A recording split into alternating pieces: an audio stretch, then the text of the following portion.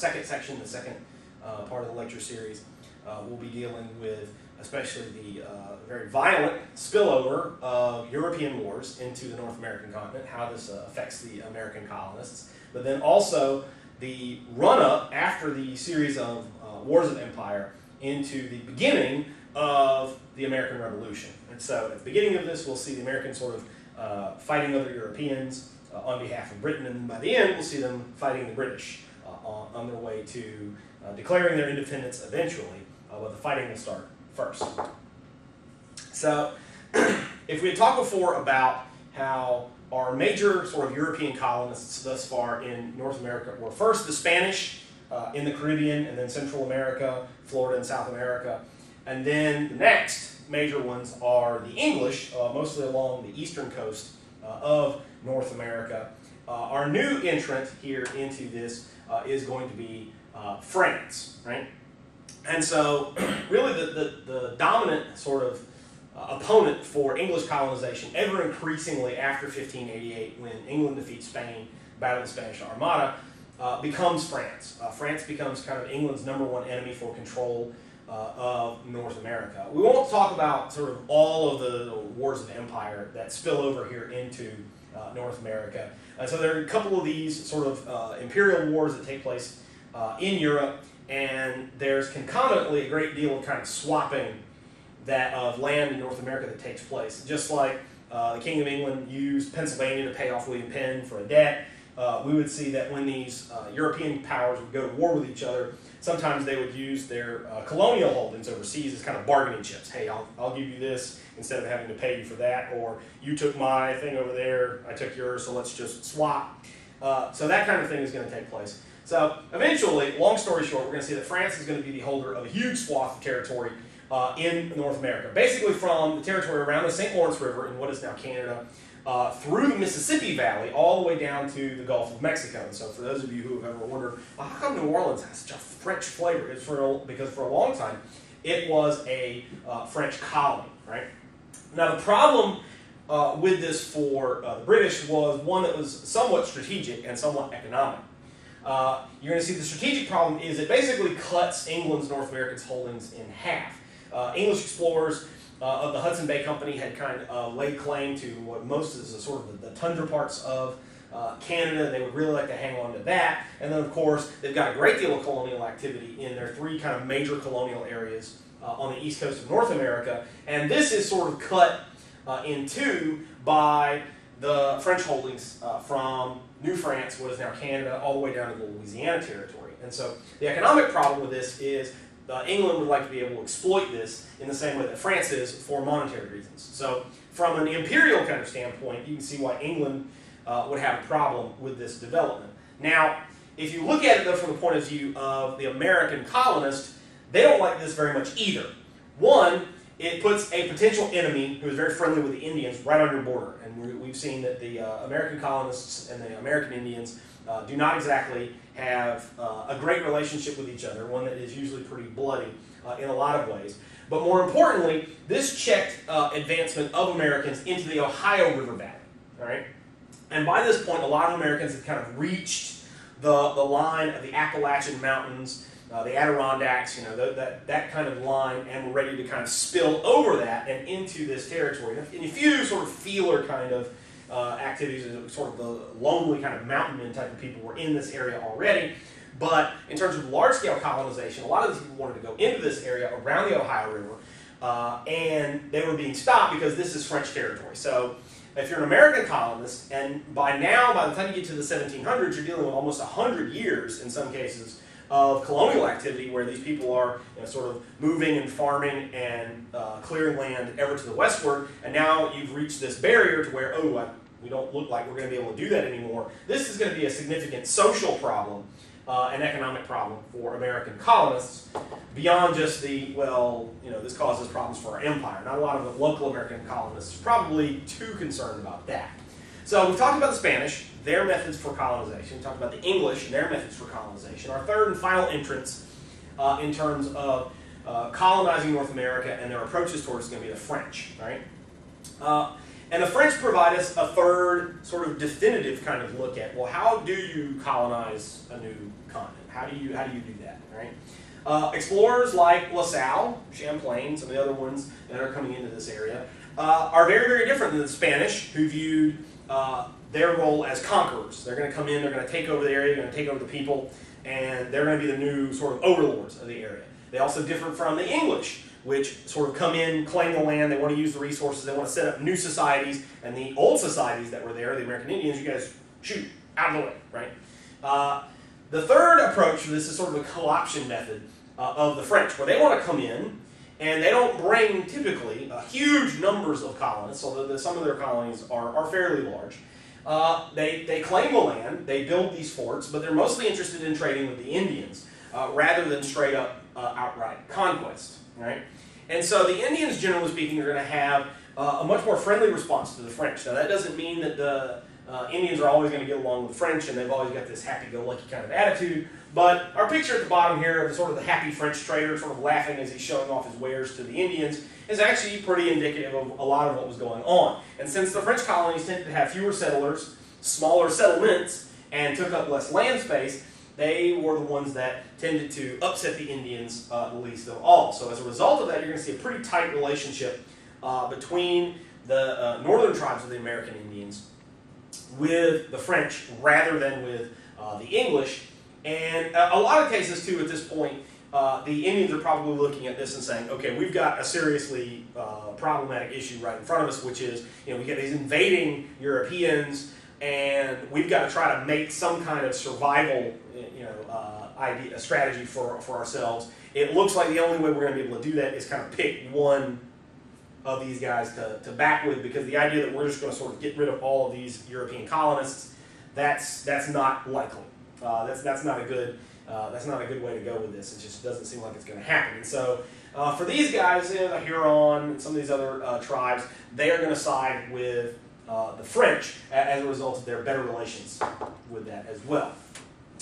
We're going to see a lot of these European wars that are going to take place uh, on the continent of Europe are now going to spill over into the colonies. And so if you're uh, in England and you go to war with France, and so you're English, and now you're at war with the French, and so you meet French people on the high seas or on the battlefield, you fight each other. Okay, fine, right? Uh, that's sort of understandable kind of thing.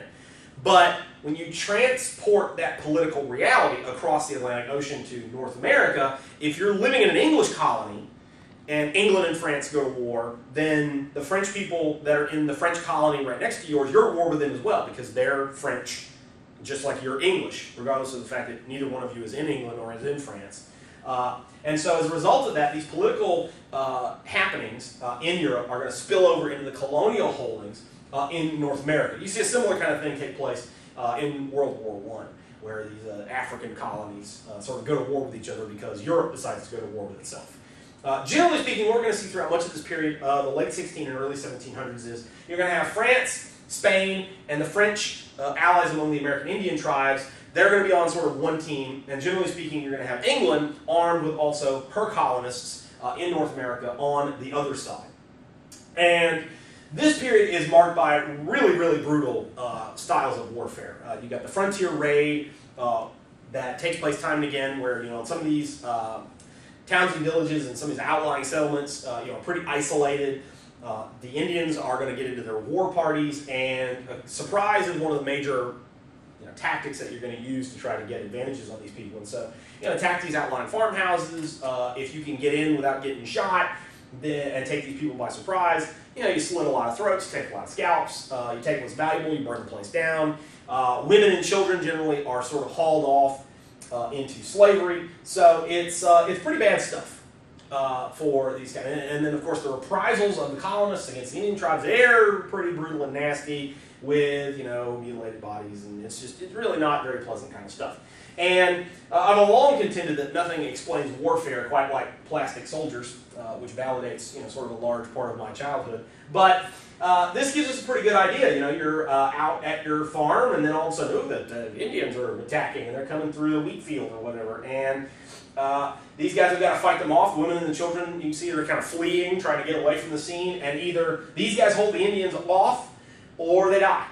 So it's, it's really not, uh, really not too many uh, possibilities here for what's going to take place. And so the Indians, you'll also notice, for the most part, are armed uh, with firearms.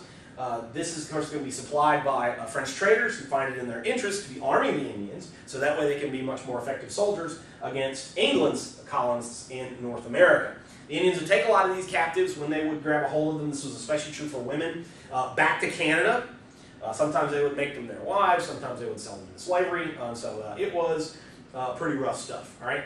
Now, as a result of that, the colonists feel like they kind of got the sword of Damocles, you know, just over them. They're waiting for the other shoe to drop. They're waiting for the hammer to kind of fall on them because the presence of the French in Canada is this one of constantly stirring up the Indians against them.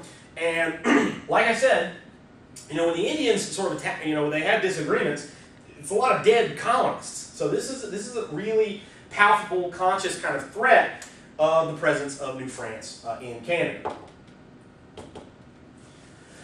Eventually, we're going to get uh, one of the big kind of blow off, one of the, the, the, watershed kind of events is going to be one of the one of the best named wars uh, of all time. Uh, we started running out of good names for wars when we got about to the 20th century. You know, World War, and then well, it's one, and then we got two, I guess. So we've got that sort of movie sequel, you know, phenomenon now. Uh, they had much cooler names uh, back here in the 1700s. Uh, the War of Jenkins' Ear. Uh, this was a European war that was begun uh, at least near North America. And what happens here is a British sea captain, they're sailing along, uh, and then his uh, merchant vessel is stopped by a Spanish naval vessel. The Spanish naval officers, they all come aboard, and of course the Spanish, they're a warship, they've got the guns, and the British sea captain, you know, you can't, you got no right to do this, I'm just a merchant guy, and we're not smuggling, and you guys we're not pirates, and so anyway, it was one of those kinds of deals. And the Spanish naval officer, they, there's a little back and forth between them uh, of, you know, you guys are awful and, you know, your teeth are crooked. I don't know, whatever you say to English people to make fun of them. And so, anyway, uh, this argument sort of gets out of hand, and the Spanish naval officer cuts off this British sea captain's ear. And he tells him, he said, if your prince was here, you know, I would do the same thing to him which, you know, implying that, hey, if the King of England was here, I'd cut his ear off too, which I guess speaks to Spanish thoroughness. I don't know. Anyway, well, uh, Jenkins, who has his ear cut off, right, uh, does what any of us would do in this sort of situation, which is he keeps the ear and then presents it to his leader. That's what I do. I take my ear to the President of the United States and I would say, hey, here's my ear. This other guy said that, you know, your ear's next, bro. So anyway, uh, The English king takes this Spanish naval officer's word for it that he would in fact cut his ear off. Uh, of course, this all is extremely ridiculous. In fact, there was a whole host of political rigmarole all behind the scenes, and uh, this was just an excuse to fight a war uh, between uh, Britain and Spain. They had been sort of broiling for quite a while.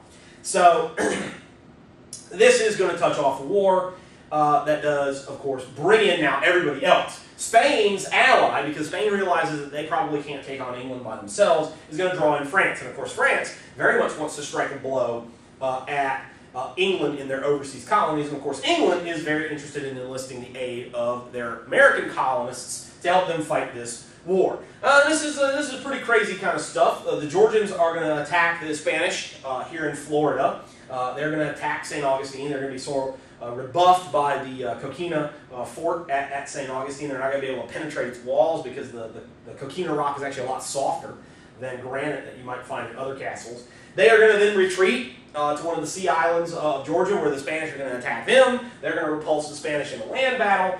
Uh, so it's a lot of back and forth between Georgia and Florida. But eventually we'll see that neither side gains uh, the advantage there in that part of the war. Now, through much of this fighting, the American colonists are serving in a militia, which is sort of like our National Guard if our National Guard didn't really ever practice much.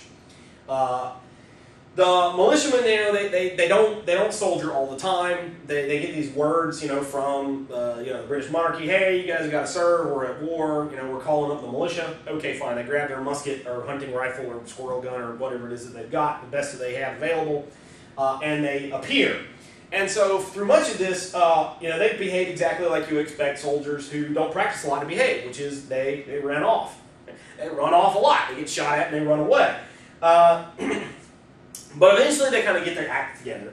And uh, a large group of New England militia and British regulars are going to attack Louisbourg. Right? And this is in what is now Canada. And Louisbourg, this, uh, this operation to take Louisbourg, uh, is really impressive because Louisbourg is an extremely sensitive, crucial, strategic point. It's at the mouth of the St. Lawrence River, so it's a very commanding strategic location. But in order to attack it, you got to engage in an amphibious assault. And until we start dropping, you know, soldiers from space or something like that, uh, amphibious assaults are the most difficult to coordinate in terms of uh, military uh, tactics because of the fact you got to get all these soldiers on, onto a great big boat and then off the great big boat onto these smaller boats and then you got to get them all to the shore in some kind of organization. At this point, they're starting to get shot at and then get them off the boats onto the beach where, of course, they're now getting shot at a lot into some kind of order and organization and then attack a fort, which is always difficult. So uh, this was pretty. Uh, pretty chaotic kind of stuff. There, there's plenty of opportunities for things to go badly wrong uh, with this, especially dealing with the fact that a large part uh, of the force are these New England militia. But they succeed. These guys, they get their act together, they get out of the boats, they get on the shore, they take the fort at Louisbourg, and you know, hooray! Right? They get this back. They actually did something right for once, right? But when the war winds down, they get together at this peace conference and they say, okay, uh, let's start swapping little poker chips around the board uh, now that this is all over. And in the peace talks, the British wind up giving Louisbourg back to the French as part of a deal to get something else. And so when you look at it from the big picture, you say, okay, well, that kind of makes sense. You know, all right, I see what's going on here. To a lot of these Americans, they feel really jilted. We fought, we actually did something right, we risked our lives, a bunch of us got shot so that you could give it back to the French at the peace conference. We, we don't really understand that. So there's a lot of bad feelings that are going to elicit uh, as a result of that, right? Uh, some of you may recognize our, our, photo here on the slide. A lot of you are saying, oh, it looks sort of like the $1 bill, except he looks like he's in a lot better shape. Yeah, this is a young George Washington, and like a lot of your great military leaders of the late 1700s and the early 1800s, he had a really itchy chest. You see these guys, they get painted because they're, they're scratching their chest. Actually, I don't know why they're doing that. It's just sort of the popped collar uh, of uh, that period. These guys, you know, they thought it would look cool to stick their hand in their shirt. I guess better than sticking their hands in a lady's shirt. But anyway, uh, the question here that's going to take place uh, of our next sort of major colonial conflict uh, is going to be over the Ohio River Valley. And that's going to lead us to the Seven Years' War, uh, which is what they called it in Europe, or what a lot of Americans called it, which is the French and Indian War. And if the War of Jenkins' Ears is a pretty big war, there were a lot of uh, imperial wars that had taken place uh, prior to that. The French and Indian War is kind of the big blow-off you know, uh, battle that takes place. For those of you who, you know, you watch a lot of pro wrestling, the two guys, they kind of go at it in these little matches before, and then eventually at the big pay-per-view, they have their big blow-off match. The French and Indian War is the big blow-off match for control of North America. Uh, the winner is going to escape with control of basically the entire continent, or at least most of it, and the loser is going to be sent off to kind of lick their wounds, right? Now, the immediate question, though, is going to be over the Ohio River Valley. The Americans, especially the American colonists, they want to settle in the Ohio River Valley. They are really ready by the time we get to the 1750s. They're ready to kind of leap over the uh, continental divide, and they're ready to move into this area of what is now Ohio and Kentucky, start farming, raising horses, I don't know, corn mash, whiskey, you know, whatever it is that you know people like that did for fun back then. So they want to settle. They want to move into this region. But the French cannot allow this. They have a pretty good colonial activity going on in the north around the St. Lawrence River Valley in what is now Canada. They've got a lot of activity. They've got a decent number of colonists there. They've got a lot of activity going on in New Orleans where they've got a lot of colonists, they've got a lot of economic activity, but not a lot in between. They technically have Ohio, and they've got a few colonial, sort of creepy, weirdo French people that are hanging out with the Indians in the area, but not nearly enough to defend it, other than the Indians themselves. But if they allow the American colonists and thus the English Empire to move into that area, then it's going to cut their colonial holdings in half. So this is a big problem for the French. So strategically, the French are going to want to keep it. So our earliest sort of uh, conflict that's going to take place is going to come in what is now western Pennsylvania, uh, near what is now Pittsburgh. And George Washington is leading a patrol of British soldiers, and they're into this area, and he assumes that he is in British territory. He looks, you know, they're looking around saying, okay, what's our map look like? Okay, this is, this is our territory, and we're patrolling it to make sure that the French don't come into it. So he is he assumes that he is on his own uh, country's property. He's not.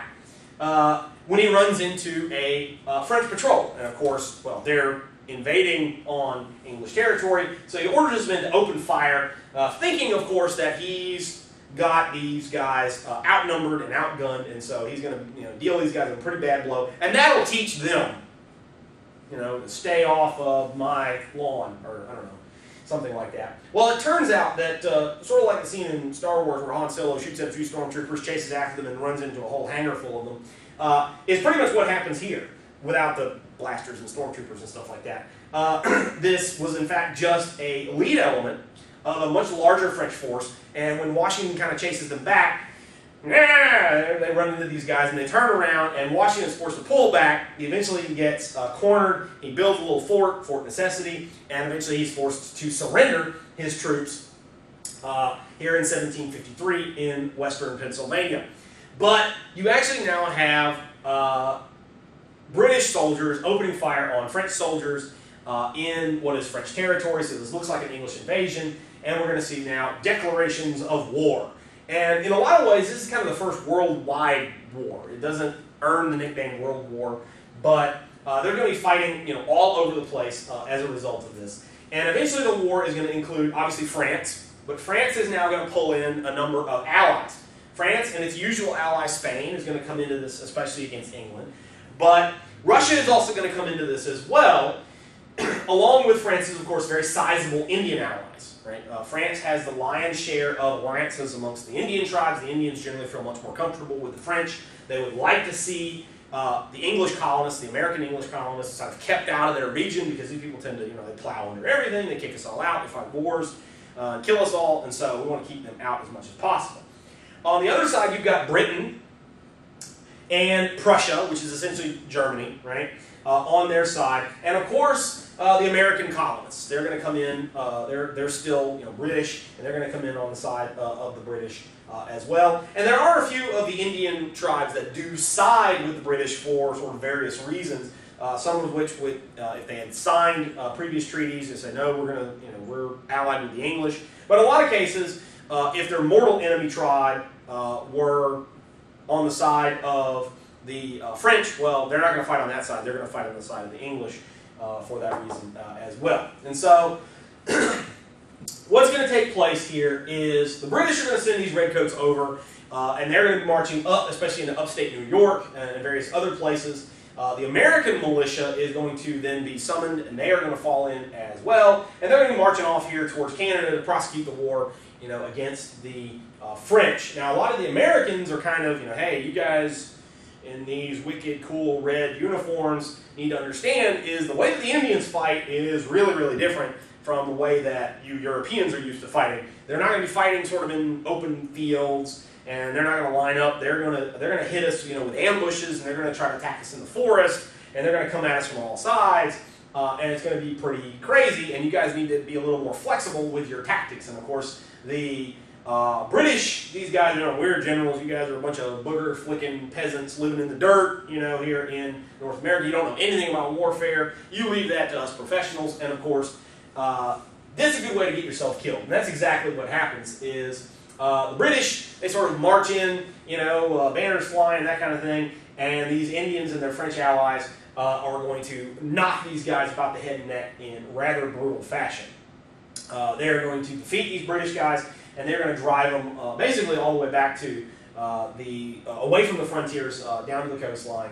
And this is going to put things in a pretty bad situation for the American colonists because we're going to see that concomitantly with that, the Indians begin fresh raiding attacks all along the American frontier.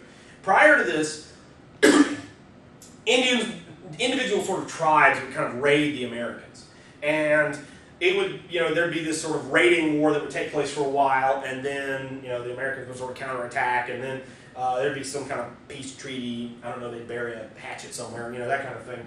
Uh, it was it was episodic, localized, and there was sort of a period for this. This is a much larger kind of thing. This is a strategic kind of maneuver that is going to put pressure on the entire American frontier rather than just on uh, specific points. All the way from Canada down to the Carolinas, you're going to see that American frontier settlements are going to get hit, they're going to get caught off guard, and a lot of these colonists are going to get slaughtered. And so these British regular forces, the guys that are supposed to know what they're doing, uh, are going to rout. And this is going to leave George Washington and only about 800 militiamen to defend the entire frontier from Indian and French attacks. And so this looks pretty bad. This looks pretty bad. This is sort of a dark period here uh, in the French and Indian War. Well, what's going to take, uh, what's going to precipitate a change in this is going to be a change politically. Uh, the old prime minister is going to be replaced uh, in London, and William Pitt, and for those of you who are Steelers fans, right, uh, Pittsburgh is named after William Pitt. Uh, he becomes the prime minister after this series of defeats that take place here in America. And so he looks at the situation, and basically Pitt, he was a, he was a mercantilist, uh, he was a money guy, and he looks at the situation and he says, okay, well, what, why are we fighting? We're fighting for money. You know, we're fighting for the fact that North America is a valuable sort of pot of gold. It is the golden goose, and we need to make sure that that thing keeps squeezing out golden eggs. Okay, so this is what we're going to fight for, and we're going to adapt our strategy now to meet that goal. We've got a very specific national goal. It isn't just to, we're going to fight the French because we hate them, right? Uh, although they did. Uh, we're going to fight them for a specific goal. So to this end, he raises a huge army. Uh, so our first army gets defeated, fine. We're also going to need to get these guys across the Atlantic, and we're need to fight off the French attacks uh, and keep them from reinforcing themselves in North America. So we're going to need a large navy. Bam, no problem. We'll do all this in order to fight France. Our main objective is to focus the war effort on winning in North America. Germany, Prussia, you guys, Frederick the Great, who was king of Prussia at this point, you guys are on your own. Here's some cash. Buy some soldiers or guns or whatever, right? And use that then to fight off the French, the Austrians, and the Russians, okay?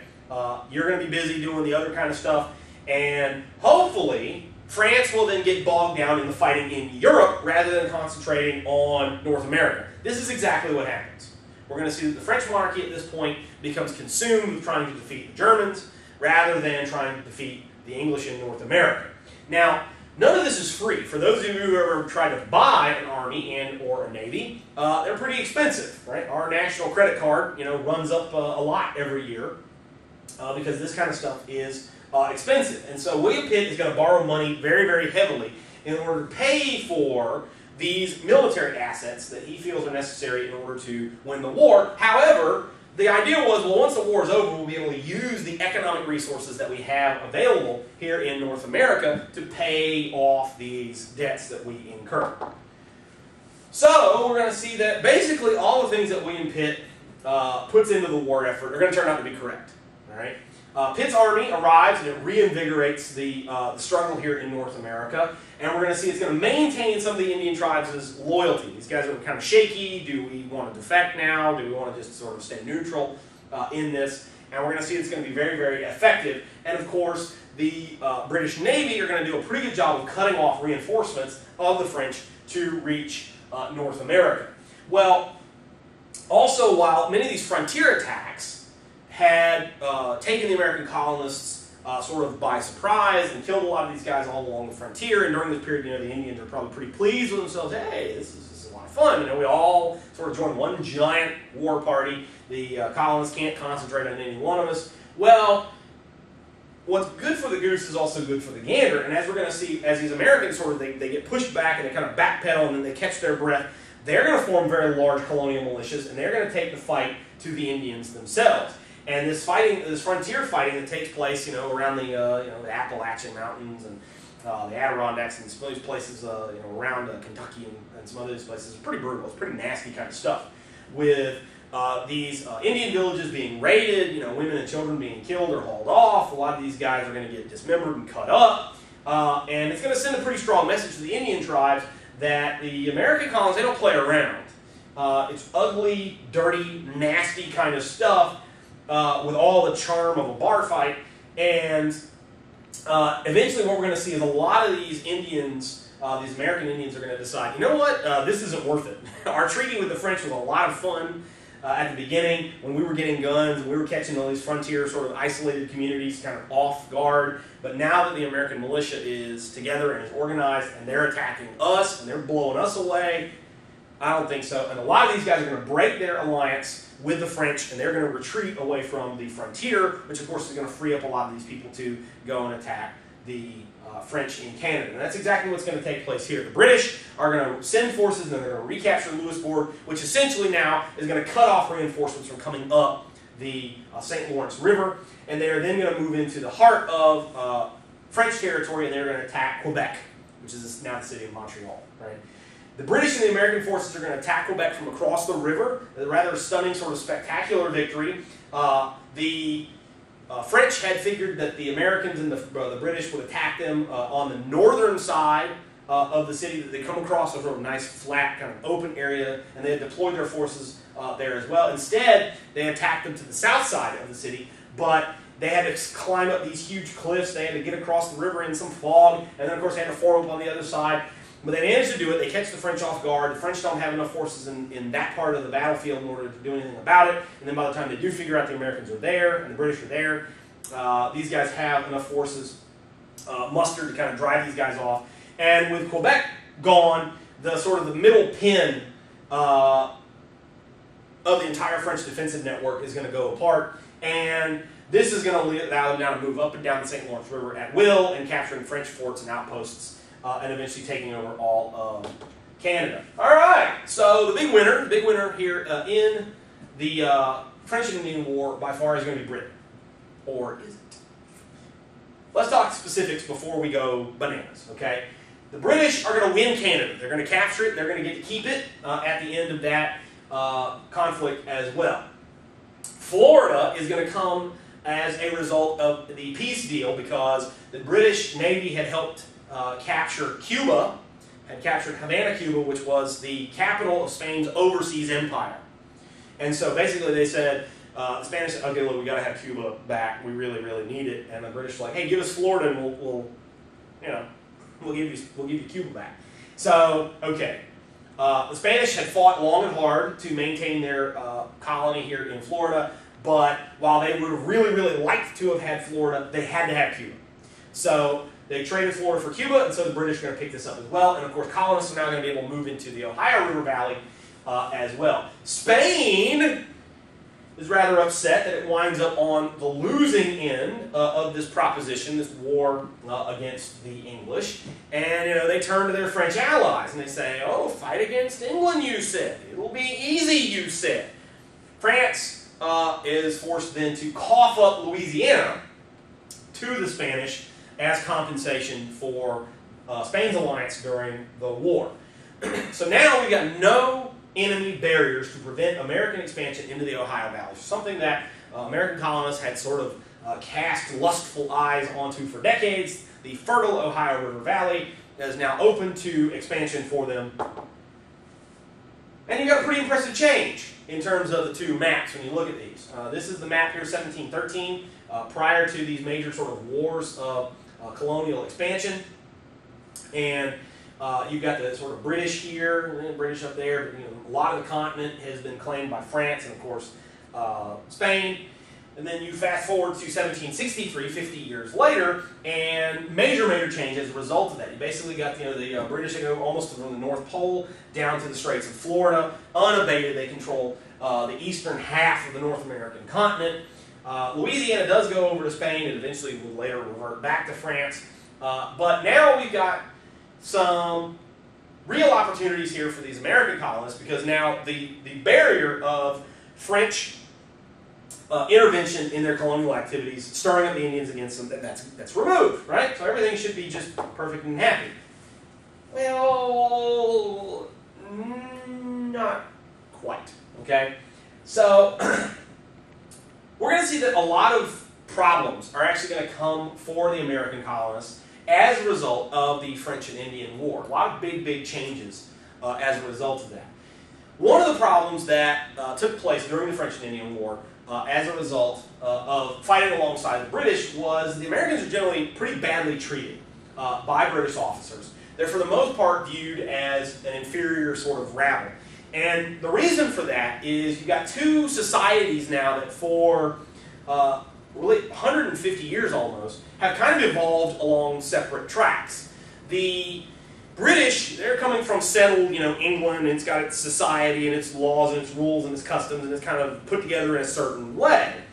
And the way that that society is put together, especially in terms of the military, is the officers are the genteel class. They're the people that are born to positions of importance, or they may work their way up into the officer ranks, but generally speaking, it took a little bit of money in order to be able to do that if you weren't born into the right families. So generally speaking, what you got is a middle upper, but for the most part, upper classes of society that dominate the officer ranks uh, of the British Army. And then you're going to have the people that are the regular soldiers that are pretty much from the bottom. Uh, it was not uncommon for uh, these people that, well, I can't really find a job, I can't really do anything else in society, and uh, I'm gonna, I'll join the army. Okay. It was also not uncommon in some cases for judges to, uh, in criminal cases, well, I could send you to jail, or instead of, if you don't want to do that, you can join the British Army. So, which is not to say that everybody, uh, you know, in the British Army at this point is, you know, sort of a sociopathic reprobate. Uh, there are a lot of people that are, you know, pretty far down the social scale, and they know that they're never going to get out of that. They're, they're always going to be kind of at the bottom of society. They're in the army. The army sucks. And, you know, it's really not a whole lot of fun. And they're treated like that. The British, you know, officers, we're up here, you guys are down there, and you're, you know, you're human trash. Okay, right? So naturally, they assume that when they're serving alongside the American militia, well, they dress like farmers, and their vocabulary is kind of rough, and they drink liquid corn. These guys are they're kind of the, sort of the same kind of inferior trash that you know populates most of our army. But in fact, what you're going to see is a lot of these Americans they really resented that uh, because, well, yeah, we're sort of frontier folk, but we're independent. We're our own sort of business people. We own farms. We're colonizing a continent. We're bringing civilization to a place that essentially is devoid of it. And so while we may sort of look and talk one way, socially our structure is very different. We you know believe in sort of equality and egalitarianism.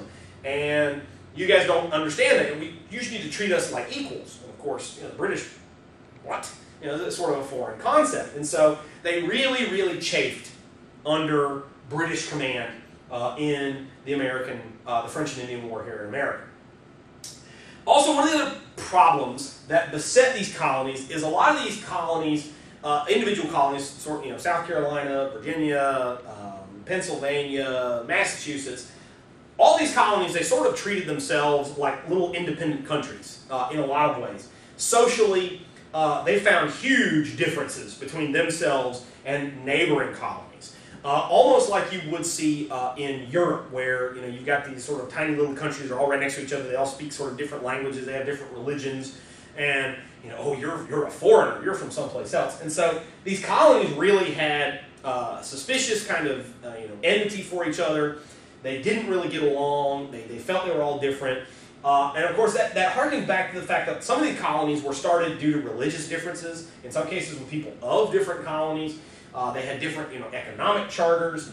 They had, uh, you know, different economic activities, uh, views on social structure, and as a result of that, they found that many of these differences, well, they, we're just incompatible with each other. Yeah, we're all part of the British Empire, but, you know, we are very, very different than the people in the colony next to us. And so they found, though, that in serving in the French and Indian War, one of the things that you do is, you know, you build up camaraderie. You sit around the campfire and you start talking about, hey, well, this is what's going on here in my colony. Well, hey, that's sort of going on in my colony as well.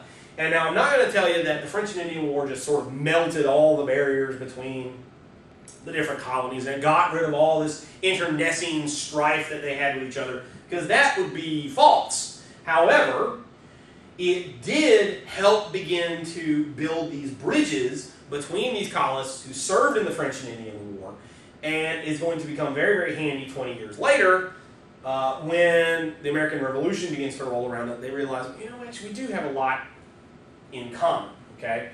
We're also going to see that in 1763, the British Parliament uh, begins to intervene here socially uh, in the American colonial activities when it issues the Proclamation of 1763. And that is related to uh, this red line on this map here, which was that the British Parliament said, okay, no settlement west of this line. What? Are you sure? The whole reason we were really interested was so that we could get into this part here, right there, west of that line there. And the reason for this is the British government is looking at ways to cut costs. Uh, the war had been very, very expensive, and they're worried that American colonists moving into this region will upset the Indians, which it will, right? Uh, and so they don't want to have to pay the extra money in order to send more troops, more uh, law enforcement people over in order to keep the Indians off the colonists' backs. So, hey, you guys need to stop here, and we're going to let the Indians sort of you know be in this area. But to the Americans, no. Westward expansion, west of the Appalachian Mountains, west of the Adirondacks, that's, that's how we have to live. See, the way that it works is we live here, we crank out these huge families, and then they're going to need land to live on, and so we send them out to the frontier in order to claim this land. And if you take that away from us, then our whole society is going to fall apart. That may be kind of an exaggeration, and a lot of historians have kind of pointed that out, but a lot of Americans believe it, whether it's an exaggeration uh, or not. So what's going to happen though is a lot of these colonists basically, you know, go, I don't think so. Uh, they blatantly ignore the rule, and they are going to cross uh, the Appalachian Mountains in ever increasing numbers, led by guys like you know Daniel Boone through the Cumberland Gap uh, here into uh, you know, eastern Tennessee, Kentucky, you know that kind of area. Uh, this is actually a pretty good uh, artist rendering of what Daniel Boone looked like at this point. it is a myth that he wore a coonskin cap. However, it is such a pervasive myth that I have to include. This is Fess Parker from the 1960s TV show uh, with Daniel Boone wearing a, first, uh, a coonskin fur cap. So one of the other issues that is taking place here, uh, putting Americans on the wrong side uh, of the law, was smuggling. And this was the fact that uh, when you're at war, uh, trading with various people or trading without paying customs duties is illegal. And so these Americans realized that, uh, just like sort of drug smugglers uh, do today, that if you've got a product and it's illegal, uh, you can uh, sell it for tremendous amounts of profit if you're willing to run the risk of being pinched by the law. And so smuggling is going to go way up during the war, and Americans are going to get pretty comfortable with the idea that, you know, British law is really more of a suggestion than an actual set uh, of rules, right? so this is that was sort of the, sort of the co uh, course of major kind of events. We talked a little bit about um, the economical side and social side, but I want to get into a few specific points uh, with society, and with economics now. And one of these is the growing idea of uh, republicanism uh, in America by the mid 1700s. Now, don't get confused with the political party of the same name. We've got, you know, uh, two political parties, the Democrats and the Republicans. They've taken two sort of ideas and they've made them a specific name, right? So don't get confused when I talk about republicanism that I mean, you know, the political party with the same name, right? And what we're going to see though is the rise of republicanism uh, here in uh, America by the mid 1700s, so that it becomes sort of the assumed, you know, kind of way of putting society together. Uh, at the heart of this, of course, is going to be the Enlightenment. The growth of the Enlightenment throughout the middle 1700s uh, is going to play a big factor here in terms of thinking about society, using reason, using those ideas uh, in order to put society together. But we're also going to see a number of political and social issues that are going to push Americans toward this belief uh, in terms of egalitarianism, which is the idea that, well, basically everybody is equal. And you wouldn't see necessarily everybody in America sort of totally buy into that, but at the heart of it, it was sort of more or less true, even among sort of the wealthy kind of elite uh, here in America. And the idea that, you know, well, we all are sort of equal. And eventually this kind of language would find its uh, ultimate sort of voice in the Declaration of Independence, the um, U.S. Constitution, documents like that. But the idea of a Republican idea, the idea that the, uh, public is going to rule, res publica, right? And this is an ideal society that these people had uh, sort of in mind. So in this, everyone is equal, and the individual is more important than the state. This, of course, sort of flips most governments of the world at that and some still today at this point, uh, the idea, the concept of social organization kind of on its head. The state is the most important. Uh, you know, Hitler in Nazi Germany. No, the state. You've got to subsume. It doesn't matter about your rights and liberties and things like that. It's a bunch of hooey. You know, the state is what's important. You everybody does whatever they got to do, and if it means you got to go off and get murdered, fine. You as the individual is not important. The group is what's important, right? Here in America, 1700s, ever increasingly, no. The individual. The individual is what's important. Because if the individual can be oppressed by the state, or can be cracked down, or can be destroyed, then all of us can. So this is very much a bottom-up view of society rather than a top-down view, all right? Now, one of the things, like I mentioned before, you would see some uncomfortable um, feelings on the part of some of these sort of upper crust kind of leaders in America. They didn't trust sort of the, you know, uh, people in the streets, that kind of thing. But one of the truisms that was uh, evident here in America, much more so than you would find in concomitant, say, European societies, was that the social classes under a Republican uh, society, they're permeable. Meaning that you may be born poor, but through you know, hard work, sound investing, you know, uh, marriage connection, you know, whatever, you can move up the social scale. You may wind up sort of middle class by the time uh, you die, and your children then may have, an, or your grandchildren may have access then to the upper uh, classes of society. So social advancement is possible under a Republican society. Everybody's equal. Everybody has an equal shot. It doesn't mean that everybody will all be sort of uh, super duper wealthy, but everybody has a chance at it. Okay. That also means that the lines of deference are impermanent. So while we may look at society at whatever point in history and you say, oh, well, that guy, he's really important, he's wealthy and politically powerful and stuff like that. But that doesn't mean that three generations later, his great grandkid is going to be wealthy and powerful, and that my great grandkid is still going to be, you know, sort of poor and dirt farming and stuff like that. Uh, that things are going to change. In fact, they may invert uh, in terms of change over time. So unlike Europe, where if you're, you know, Duke Tuttlebutt or whatever, and your great grandkid, he's going to be the, you know, the Duke Tuttlebutt of his time, and the people that live in the village, they always have to, oh, you know, Duke Tuttlebutt, you know, hey, how are you doing? And you know, their great grandkids, right? oh, it's the new Duke Tuttlebutt, right? You know, whatever, right? Uh, that's never going to change under that kind of situation. Under republicanism, uh, society is what you make of it. Uh, the idea of a merit-based society, everybody has an equal shot. Uh, this is where this ever increasingly is going to come from in American society. Now, in terms of the economic changes, we're going to see it's dominated here by uh, a system that we as historians would call mercantilism. Okay, and the genesis of this really comes from Britain itself, and the basis of its colonial rule was it's going to impose a mercantile system that would be profitable for them. Normally, what you're going to do is any kind of trade exchange. If I'm going to trade you $50 worth of goods, you've got to trade me $50 worth of your goods. Because if we don't, if I give you 100 and you only give me 50, then either I'm a sucker or you're a thief, right? And if you just keep doing this, where I give you more, then I'm going to wind up with less. And there's just there's just no way to do this in the long term. But this was a system that Britain had kind of set up, that we're the mother country, we're the colonial power, we protect all of you guys with our mighty army and navy, and so as a result of that, every economic activity that we have our fingers in, and a lot of them uh, we're getting uh, fingers put into them, uh, needs to benefit us. It's not going to be an even exchange uh, in terms of economic activity, right? Now the problem with this, of course, is ignoring long-term political consequences. You keep basically taking people's stuff and you stack the game so that you always win, and people are going to get ticked.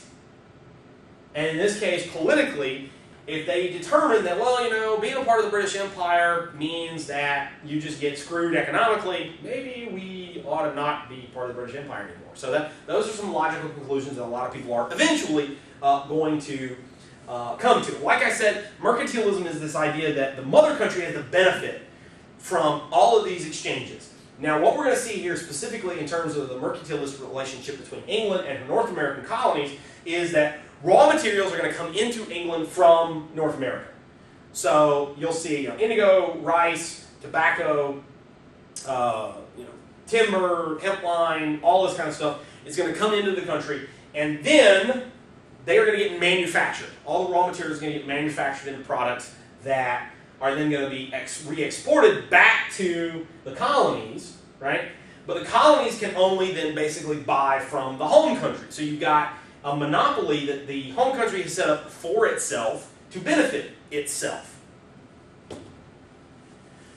when we get into some specifics about how the mercantilist system works, you're going to see a series of navigation acts are going to be passed uh, by the British Parliament uh, over the course of the series uh, uh of over the course of time that's going to take place. And this is the specific, this is kind of the nuts and bolts of how mercantilism was supposed to work. And this was designed for the English to be able to monopolize the American commerce trades. All right. First, all goods had to be transported on British or American ships. It didn't matter if the Dutch or the French trading vessel was going to give you a better shipping rate than the British trade vessel. Uh, you had to use the British one. You could also use an American ship, but because Americans, you know, were British at this point anyway, uh, the idea was you're gonna you're gonna keep it all in-house. Okay, that the only American or British workers are going to benefit uh, from these uh, trades. Okay, you know, probably at some point, you know, it's going to cost you some money, but you know, maybe able to rationalize and say, well, you know, we're kicking some money, you know, buying local or whatever, right? All goods had to pass through Britain. So let's say you've got a buyer in France and you wanted to sell your product from America to the French. No, you can't do that. It's got to make a stopover in Britain. The British are going to assess a tax on it. Also, British workers are going to then load it off of your ship and then load it back onto either your ship or a different ship after the, the taxes have been assigned on it. And so uh, this is going to put British workers, uh, of course, uh, employed, and you're going to have to pay them. So this greatly increases your cost. And you can see already where the temptation to smuggle is going to come from. Well, you know, if I skip the part where I stop in England, I'll be able to lower my price, I'll be able to increase my profits, I'll be able to put my competitor out of business. There are a whole bunch of business options that now uh, are open to somebody who's willing to uh, play a little fast and loose with the law. Now, some specific American products, like tobacco, they could only be sold in England. It didn't matter if the Spanish were going to give you a good price on your tobacco and, and, a few other things like naval stores that the British Navy needed. It didn't matter how much money you were going to make uh, from some of the European country. You had to sell it in England to whatever price the English were willing to give you. So, you know, tough. That's just the way that it goes. So, again, ever increasingly, hmm, I don't get caught by the law, I can sell some of these things that other countries have to buy from the English rather than from me. Hmm, that's a good chance to make myself a lot of money. and so what you're going to see is all this begins to sort of pile up, and a bunch of these American colonial legislatures, they get together and they say, what? You know, none of this makes any sense. Obviously, the, the Parliament didn't have, they didn't have us in mind. They didn't have us in mind when they passed these kinds of, we here in Virginia or Pennsylvania or, you know, wherever, uh, we're much more responsible. We're, we're okay. And so they passed uh, a number of acts saying, uh, no, we're not going to follow this specific one. That, that's not going to be in force here. And the idea was basically they were placing their colonial legislature on the same level as the British Parliament in London. Because, well, we defer to the king. So does Parliament. Parliament's under Parliament's under the king, we're under the king, but Parliament's not over us. Au contraire, Parliament reminds them, because after a series of these acts uh, passed in American colonial legislatures to basically repeal parts of the Navigation Acts that the colonies found um, odious, the Parliament reminded them, hey, we're in charge here. We run England and her empire, which includes your stupid behind. And so England then reserved the right to nullify any American law.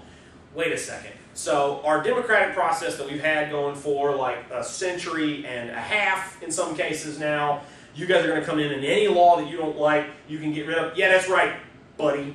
So you can see now that tensions are really beginning to rise as we go throughout the 1700s. One of the major factors here, as I've mentioned repeatedly, is smuggling. Okay. Now, one of the things you you uh, need to understand is that if you read some of the sort of American propagandist, you know, apologist sort of literature of the you know 1760s and things like that, uh, is that well everything that England did, you know, is bad. You know, you get a hold of like you know. Um, Samuel Adams and some of these other guys, um, you know, really sort of hot-headed um, American revolutionary kind of thing there were a few parts of the Navigation Act that were somewhat beneficial to the Americans. You know, uh, you know going only on uh, English ships, for example, that's going to uh, get you a lot of uh, respect, uh, respect and uh, protection from the British Navy. Uh, you know, they are being a part of the most powerful and most effective trading network in the world. But generally, feel the colonists are increasingly feel like their children. Britain is their mother, and of course, they're forcing them into a series of economic deals that are costing them lots and lots of money. So they got some serious problems with a lot of this, right? Because the acts, they serve to stifle competition with other nations. And competition uh, is going to uh, sort of break up the British monopoly. So, but the only way that this worked is if the Navigation Acts were followed strictly.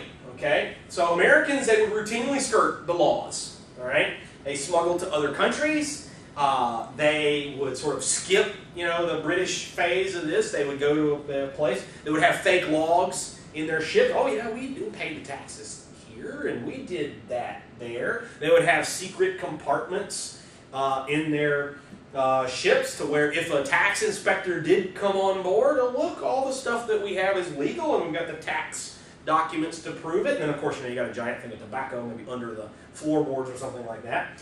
So, uh, whatever way you did it, uh, smuggling against a system that they thought was wrong and ever increasingly wrong, it didn't seem wrong. Okay? So, one of the problems that, that every society has is people breaking the law. Okay? Uh, there, there's, uh, people always find sort of advantages, personal advantages rather than social advantages, to breaking the law, whether it's you know, murdering or stealing or whatever, right? You run into huge social problems, though, when you've got a large number of people that break the law and, and feel justified in doing so. This, this is a big issue. Uh, you know, the guy who sort of smacks you on top of the head and steals your wallet, he kind of knows that when the cops come and get him, you know, okay, yeah, I, I smacked him on the head and I took his wallet, okay? Uh, a lot of these smugglers, they know that they're going to come and, uh, you know, the, the, the law is going to come after them, but they, they feel like, you know, this is my business, and it's the law that's wrong. So this is, this is a huge problem when it gets to sort of epidemic uh, proportions.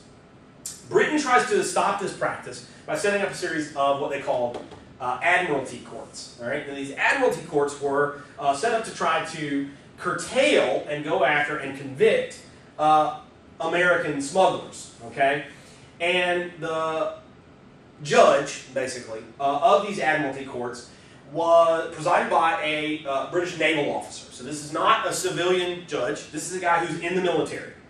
Moreover, this is not a guy who would, if you're caught, you know, sort of smuggling stuff, you know, into or out of Boston, you would expect to be put on trial in Boston. That's where the, the crime took place. No, been hauled off to one of the colonial military outposts in Canada, probably Nova Scotia, and put on trial there. Now, the naval officer, not only is he not a civilian, and he, they're not even in America, okay, you've been hauled, literally hauled off uh, to some other place. This was a guy who, if he found you guilty and said, yep, you've been smuggling tobacco or rice or those little squinky things, whatever, it doesn't matter what it is. Um, if I find you guilty, I get a percentage of the seized cargo as a reward for ferreting out smugglers. So he has a vested economic interest in not finding you not guilty, right? He, has got a, he gets paid to find you guilty. And moreover, because it's a military court and not a civil criminal court, most of the laws of civil, you know, criminal procedure just sort of go away, right? A military court, you know, the guy, conceivably, he can act as uh, the prosecuting attorney, the judge, and the jury, sort of all by itself and he just asked you, hey, did you do it? No, I don't believe you. Guilty. That's sort of an extreme case, but conceivably, it's possible, okay, to how this uh, could go. Of course, he gets paid uh, if he finds you guilty, okay? So he's got a, he's got a pretty extreme uh, economic advantage in order to, uh, or incentive to do this, right? Now, the reason for this, for those of you just, you know, sort of you're, you're at home or wherever you're watching the video, uh, sort of sharpening your knives, how dare they, right? You're still mad about this like 200 years later. Um, this setup was designed to get Britain uh, some convictions because these guys, these defendants, would go on trial in Boston, you know, or Jamestown, or you know, some of these other, you know, sort of colonial port facilities. And the people that are put on these juries are often a lot of other sort of sea captains and smugglers.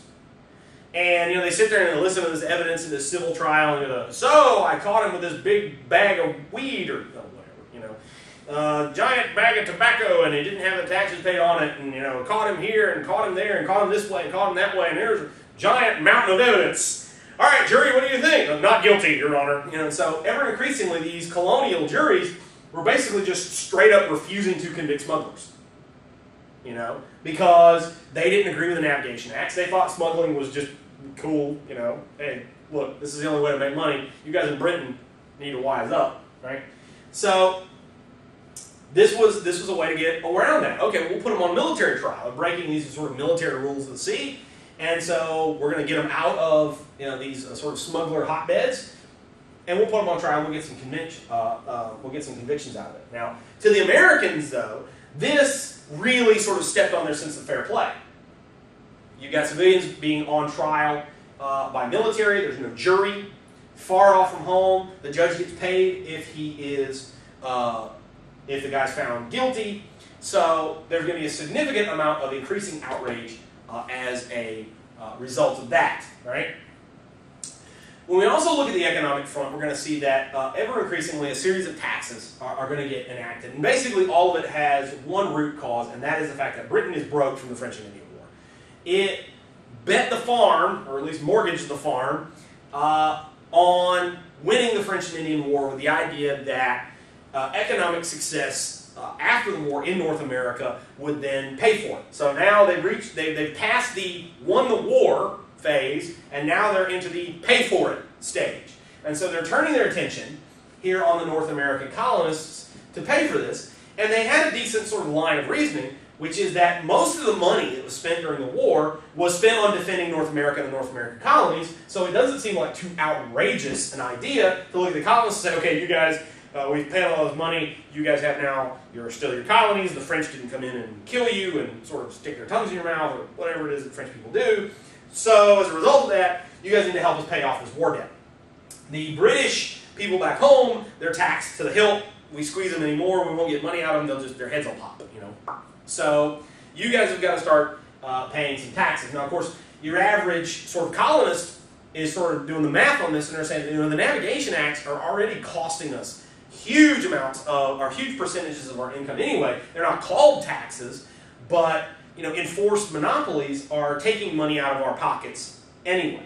So when these taxes begin to sort of roll down on top of them, they are going to look at this and say, okay, already the money that we're losing, essentially, with the Navigation Act, with mercantilism, we're not going to pay taxes on top of that uh, as well. So Parliament is going to go uh, into uh, its sort of taxing mode. And there are going to be a series of acts, starting with a tax on sugar to offset uh, the costs. Now, a lot of uh, sugar, for the most part, is coming out uh, in the raw, is coming out of the Caribbean. It's being sent to England, and then it's being sort of refined and manufactured, and then it would be sold back to the Americans to put into their tea or to feed to their horses as a treat, or uh, you could pretend it's cocaine. I don't know, whatever it is you do with sugar uh, here at this point, here in the 1700s. Now, what's going to happen here is throughout this series of events, what you're going to see is there's going to be an action by Parliament and then a surprised reaction by the colonists. Meaning that Parliament's going to send a message. They're going to send sort of message A. And the American colonists are going to receive message B. So when the Parliament sends out this thing, hey, well, there's this itty bitty tax that we want to add to sugar, and it's really not that big of a deal. You guys need to uh, you know, help sort of pay off you know, the debts from the war that, for the most part, benefited you. Um, so you know, here's this tax. The message received by the colonists is we're already paying a ton of money for uh, you know these navigation acts. It's really costing us a lot of our business. And now there's this tax that none of us got to vote on anyway, dumped on us. And so there's going to be protests. The colonists are going to protest, and Parliament's rather surprised. Whoa! Right? Whoa! Sort of like in the middle of winter when you're walking along, you grab the doorknob and it snaps static electricity on your hand. Whoa, all right. Parliament is going to relent. Okay, we're going to lower the tax. So now we've had a couple of things. For those of you that studied psychology, all right, uh, classical conditioning has taken place here. Colonists are going to protest, and they're going to be rewarded by getting what they want, which is a lowering of the tax. So they have now been encouraged to protest again. And that's exactly what's going to take place uh, ever increasingly. So Parliament isn't quite finished with their taxation, though, because they've got to find a way to make up for this lost revenue. So the next one is going to be the Quartering and the Stamp Acts. Now, the Quartering Act uh, called for colonists to provide food and houses for British soldiers who were operating in the area. Uh, to put them up. You know, and putting these soldiers up is expensive, and so you guys have places to stay at inns or warehouses or wherever. So we're going to have uh, British soldiers stay with you and eat your food. This is not terribly popular with the colonists. It's about as much fun as you know if some dude in the army or police officer or something like that, he sort of kicked in your door and be like, "Hey, you know, it's expensive for me to stay somewhere. Uh, I'm going to live with you." Great right? So uh, this is this is extremely unpopular uh, with the colonists, despite the fact that most of these colonists have never had to actually put up a uh, a soldier in their house.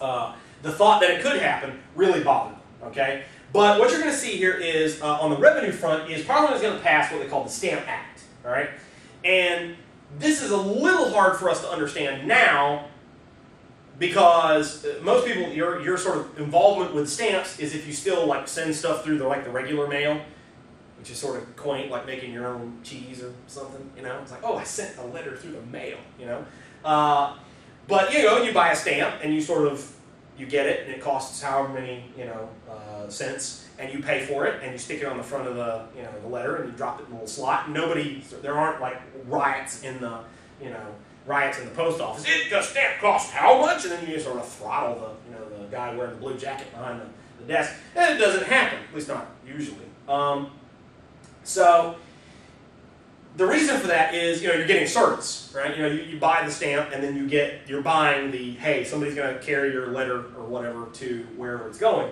And so you, you don't feel bad about it. You might complain that it's too expensive or something, but uh, you understand that, okay, I'm buying a service for this, right? This is very different than the Stamp Act and what it required, okay? You go and you buy something at the store, you know, a newspaper, packet of playing cards or something like that, and it costs, you know, how much it costs a dollar, and you bring it to the counter, and it says, oh, the law requires that I stamp this now with an official government stamp so that the government will know it's official. Bam, now it's a dollar twenty-five. Wait, what? Yeah, it costs more now that it has the official government stamp on it, which I'm required to put on there, and so you've got to pay for it. So I got to pay for a little smudge of ink now that's on my product that I wanted to buy here at the store. Yes, it costs more now because I had to stamp it there's no benefit that you get from the stamp. I mean, some of them, they're, they're pretty cool looking. I mean, you know, if you like looking at stamps, if you're a stamp collector or something. Uh, but for the most part, it adds no value to this. And there was a lot of stamps that went on just like everything, and it was really, really stupid. So this is gonna, uh, this is gonna generate a strong series of protests all around America, and it's gonna have two precipitate uh, actions are going to take place as a result of that. One, it forces Parliament to repeal the Stamp Act. You notice those of you who psychology majors out there, like they reinforced the behavior again. Yes, they did. It gives them what they want. Second, it unites a lot of the colonies behind the cause of standing up to Parliament for their principles. All right. Through the throughout these acts, during these protests, ever increasingly, you're going to see one of the coolest little slogans ever in American history that begins to find some traction uh, that very simply and effectively states many Americans' opposition to these taxes, which is no taxation without representation. And I think that this is as good a, much, a good a point to stop uh, as any.